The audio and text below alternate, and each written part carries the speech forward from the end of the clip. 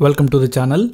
In this video we will see how we can download and install latest version of Visual Studio Code in Windows 11 operating system. So the first thing that we have to do is we have to open up any browser that is installed in our computer.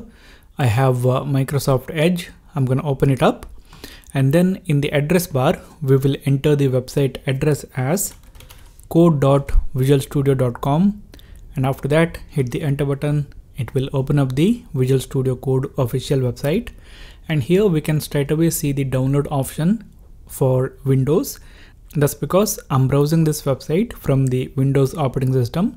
This website automatically detects that and it displays the appropriate download option.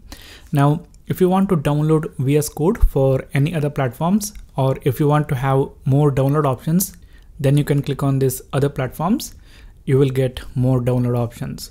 Here we will straight away click on this download for Windows. Now it will take us to this page and the download will begin automatically. We will wait for the download to finish. Okay, now the download is complete. If I take the cursor on this downloaded file, then I can see this download icon. If I click on that, it will open up the folder where the downloaded files are saved, generally in the downloads folder. And you guys can see the file here. In order to install Visual Studio Code, we just have to double click on this file. And here I will accept the license agreement and then click on next. And here it will display the path where Visual Studio Code will be installed. If you want, you can make a note of that. And then we will click on this next and then next. And here we will uh, select some options. I want a desktop icon, so I will check this and then I want to have the open with code option whenever we right click on a file or a folder. And that's why I will check these two options. And after that uh, register VS Code as the editor for supported files. Uh, we will uh, check that. And also add to path we will check that. So after that we will click on next. And we will click on this install. Now it will install Visual Studio Code. We just have to wait for this process to finish okay now the installation is complete.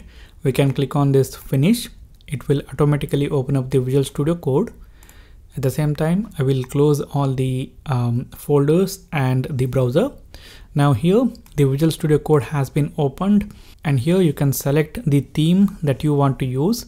For example i will go with the dark modern and then i'm gonna uh, take my cursor here and then i will scroll down and then I will click on this mark done. You know here you can find some options to customize the settings which you can do later if you want.